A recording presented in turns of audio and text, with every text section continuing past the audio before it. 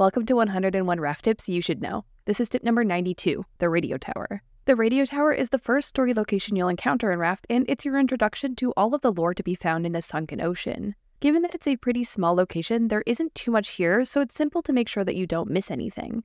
Beyond the five notes spread around the island, including the code for the next island, there are also a total of five wooden crates that can give you anything from smelted second tier resources to some fancy equipment. Two of them are found underwater, so don't forget to do some diving to get the most out of this location. There are also a number of pieces of scrap, some clay, sand, and rocks all the way under the tower, but no metal or copper. And if you're already a pro at getting through this location, here are a few speedrun jumps that are fun to try out. Instead of ringing all the way around the red pipes on the second level, just jump from the air vent to the light. At the end, instead of using the tiny box staircase, you can jump from the vent to the metal rungs, and then directly onto the wooden platform to climb the rest of the tower and say hi to Tala. And despite the few pieces of graffiti that claim someone named the shark Bruce, my shark will always be Jeremiah. Happy rafting!